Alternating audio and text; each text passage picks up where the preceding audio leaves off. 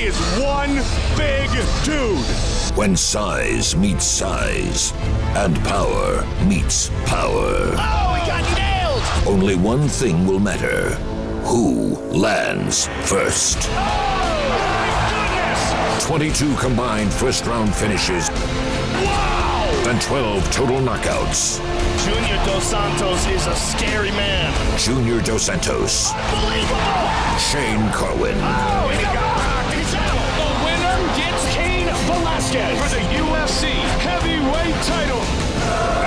first man to ever fight in four different weight classes, Kenny Florian makes his featherweight debut against 16 and 1 Diego Nunes.